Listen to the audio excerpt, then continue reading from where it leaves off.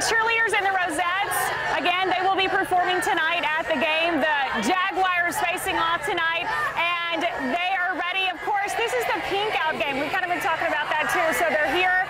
The student body really showing out today, showing up in the numbers, and they are ready again, wearing their pink pink out game as they do bring awareness to breast cancer as well. So we're so grateful for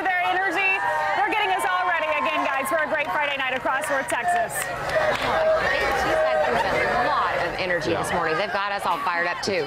All right, Annalise, thanks so much.